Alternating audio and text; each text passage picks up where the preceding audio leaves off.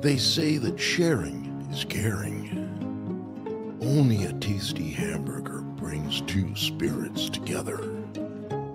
And you never know what you're missing until it's really, truly, sadly gone.